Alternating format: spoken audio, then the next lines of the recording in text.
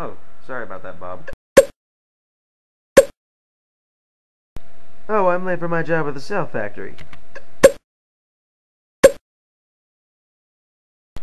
It's pretty much a factory based off of the insides and the functions of a human cell.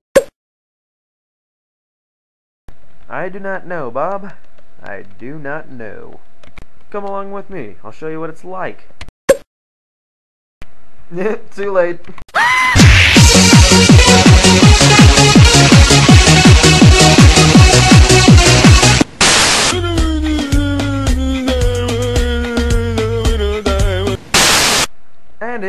At the cell factory.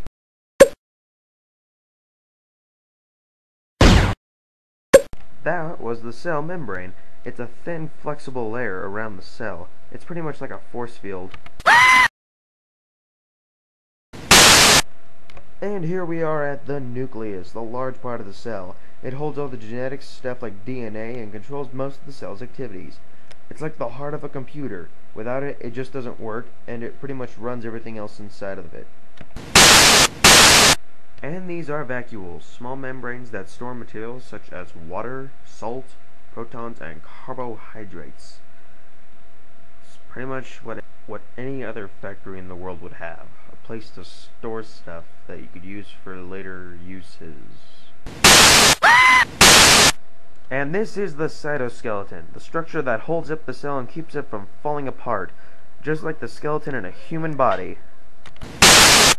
And this is a lysosome, an organelle that breaks down small things like lipids, carbohydrates, and proteins into small molecules so it could be used in other parts of the cell. Pretty much like a grinder from a junk factory.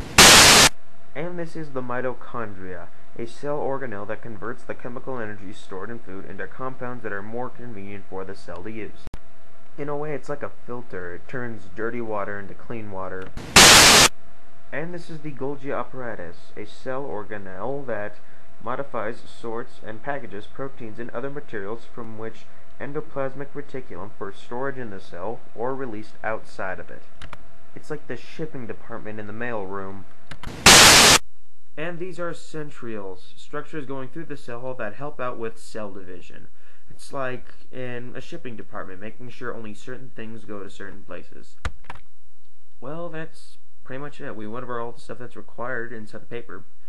Uh, what do we do now? Oh well, the end.